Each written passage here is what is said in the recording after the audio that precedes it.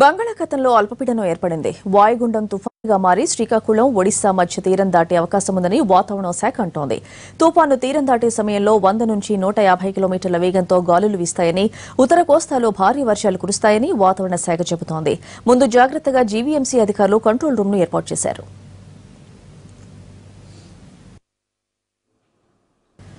పశ్చిమ మధ్య బంగాళాఖాతంలో అల్పపీడనం కొనసాగుతోంది. మరో ఇరవై నాలుగు గంటల్లో ఇది వాయుగుండంగా మారే అవకాశం ఉంది.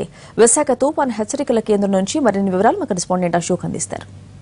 పశ్చిమ మధ్య బంగాళాఖాతంలో అల్పపీడనం ప్రాంతం స్పష్టంగా కొనసాగుతుంది. అయితే ఇది వాయుగుండంగా మారడానికి మరొక ఇరవై నాలుగు గంటలు పట్టే అవకాశం ఉందని అంటున్నారు. అయితే ప్రస్తుతం మనం విశాఖ తుఫాను హెచ్చరికల కేంద్రంలో ఉన్నాం మనతో పాటు డ్యూటీ ఆఫీసర్ శాస్త్రి గారు ఉన్నారు. ఆయన అడిగి మరిన్ని వివరాలు తీసుకున్నాం సార్ ఇది ఎప్పటిలోపు పూర్తి స్థాయిలో వాయుగుండంగా మారే అవకాశం ఉంది. దీని ప్రభావం ఎలా ఉండబోతుంది సార్? ఇరవై నాలుగు గంటల్లో మనకి వాయుగుండంగా మారే అవకాశం ఎక్కువ కనిపిస్తోందండి. ఎందుకంటే ఈ రోజుకు అది మార్పు ఇంటెన్సిటీలో కూడా కొద్దిగా మార్పు ఉన్నమాట నిజం. అలాగే దాని యొక్క ప్లేస్ కూడా కొద్దిగా మారింది. నిన్న మనకి మధ్య బంగాళాఖాతంలో ఉంది కాస్త ఈ రోజు పశ్చిమ మధ్య బంగాళాఖాతంలో కొద్దిగా మారింది. అదేవిధంగా దాని నుంచి మనకి ఆల్రెడీ మనకి ఇప్పుడు కోస్తాంధ్ర అన్ని జిల్లా అన్ని జిల్లాలు కూడాను దాదాపు ఇప్పుడు మనకి వెదర్ కూడా మారింది. మనం అబ్జర్వ్ చేసి ఉంటాం. కాబట్టి తప్పకుండా ఈ వర్షాలు నుంచి పడే అవకాశం ఉంటుంది. చతుర్మతిగా వర్షాలు పడతాయి. వాటిల్లో ఒకటి చోట చోట్ల ఉత్తర కోస్తాలో మనకి భారీ వర్షాల అవకాశం కూడా ఉంది. సార్ అంటే వాయుగుండంగా మారిన తర్వాత ఎలా ఉండబోతుంది సార్? అంటే కోస్తా జిల్లాల మీద ఓవరాల్గా అంటే గాలుల తీవ్రత కావచ్చు అలాగే వర్షాభావ పరిస్థితులు ఎలా ఉండబోతుంది ఆల్రెడీ ఇప్పటికన్నా ప్రస్తుతానికి చెప్పాలంటే ప్రస్తుతం పరిస్థితుల్లో మనకి ఉత్తర కోస్తా మీద ఈశాన్య దిశ నుంచి తీరం వెంట బలమైన గాలు ఉంటాయండి. నలభై ఐదు నుంచి యాభై చొప్పున ఉంటాయి. దక్షిణ కోస్తా మీద మాత్రం ఉత్తర దిశ నుంచి ఉంటాయి బలమైన గాలులు. నలభై నుంచి నలభై ఐదు నుంచి యాభై చొప్పున ఉంటాయి. అయితే ఇవి వాయుగుండంగా మారిన తర్వాత అది మెల్లగా దాని గమనం పెరిగేసరికల్లా ఈ యొక్క గాలి వేగాలు పెరిగే అవకాశం ఉంటుంది. దిశల్లో పెద్దగా మార్పు ఉండకపోయినా కానీ గాలి వేగాలు పెరిగే అవకాశం ఉంటుంది. అలాగే పడే వర్షపాతాలు కూడా క్రమంగా పెరుగుతాయి అన్నమాట అందువల్ల ఎక్కువ జిల్లాల్లో అనేక చోట్ల మనకు వర్ష పడే అవకాశాలు రేపటికి ఎక్కువ ఉంటాయి. అలాగే దాంతోపాటు మనకి భారీ వర్షాల అవకాశం కూడా పెరుగుతుంది. సార్ అంటే ఇప్పుడు ఆల్రెడీ ఇప్పటికే సముద్రంలో వేటకెళ్ళిన మత్స్యకారులు ఉన్నారు. ఓవరాల్గా అంటే వాళ్ళకి ఎలాంటి హెచ్చరికలు ఉన్నాయి సార్? మత్స్యకారులకి ఇప్పుడు ఏంటంటే ఆల్రెడీ గాలులు మనకు బలంగా ఉండేసరికల్లా సముద్రం మనకి అలజడిగా ఉంటుందండి. తెలిసిన విషయమే.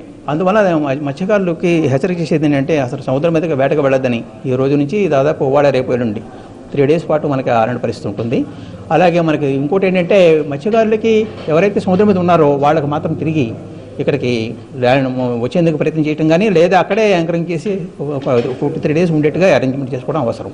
లేకపోతే మాత్రం కొద్దిగా ప్రమాదాలు లోనయ్యే అవకాశం ఉంటుంది. సరే అంటే ఇప్పుడు ఇది వాయుగుణంగా మారితే కనుక మారిన తర్వాత అంటే దీని దిశ ఎటు ఉండే అవకాశం ఉంది సార్? దిశ వాయువు దిశగానే పయనిస్తుందండి. అల- వాయుగుణంగా మారిన తర్వాతే దాని వాయువు దిశగా పయనిస్తుంది. ఆ తర్వాత మాత్రం పయనిస్తుంది. కానీ అందుకంటే పెద్ద మార్పు మనవైపు మన వైపు వస్తుంది. అంటే ఉత్తరాంధ్ర వైపు లేదా ఒరిస్సా వైపు సౌత్ ఒరిస్సా దక్షిణ ఒరిస్సా వైపు ప్రయాణించే అవకాశం ఉంది. అంటే ప్రస్తుతం పశ్చిమ మధ్య బంగాళాఖాతంలో కొనసాగుతున్న ఏదైతే ఈ స్పష్టమైన అల్పపీడన ప్రాంతం ఉందో ఇది వాయుగుండంగా మారడానికి ఖచ్చితంగా మరొక ఇరవై నాలుగు గంటల సమయం పడుతుంది. అయితే వాయు వాయుగుండంగా మారిన తర్వాత ఇది అలాగే ఉత్తర ఏదైతే ఉత్తర కోస్తా ఉందో అలాగే అటు నుంచి కూడా దక్షిణ ఒడిశా ప్రాంతాలకు సమీపంలోకి వచ్చే అవకాశం ఉందని కూడా చెప్తున్నారు.